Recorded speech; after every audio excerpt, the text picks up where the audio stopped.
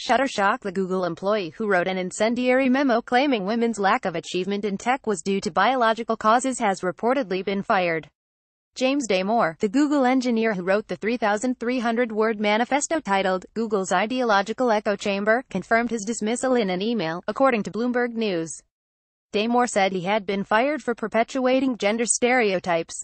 The memo, which was obtained and published in by Gizmodo, says that men simply have a higher drive to succeed. We always ask why we don't see women in top leadership positions, but we never ask why we see so many men in these jobs, the memo reads.